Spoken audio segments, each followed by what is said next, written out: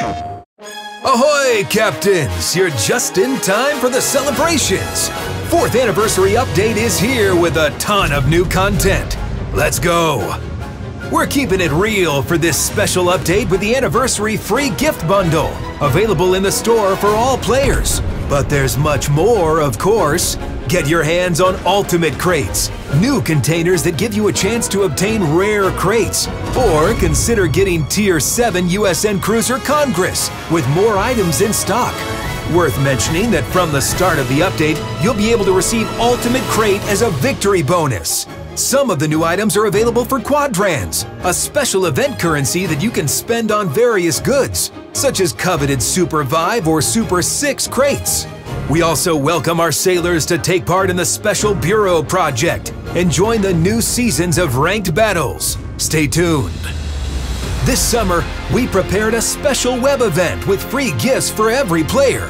Collect keys to open cells and gain celebratory rewards. It could be crates, camos, or up to 10,000 quadrans total. Don't forget to play every day to open new gifts. The Italian summer is at its full blast. Join the new campaign with Italian premium battleship Giuseppe Verdi serving as the ultimate prize. This Italian beauty carries huge guns as her main battery with SAP secondaries alongside and has enough speed and agility to outmaneuver her enemies. Try her yourself. Captains, with even more good news, the training mode makes an entrance to World of Warships Legends. You can now create training battles with your friends without affecting stats or your credit savings, and master a perfect playstyle for your future clashes.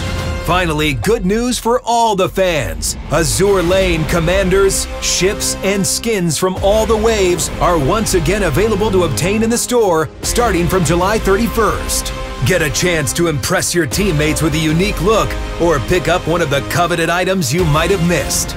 Practice makes perfect, Captains. Join the celebrations and turn the tide.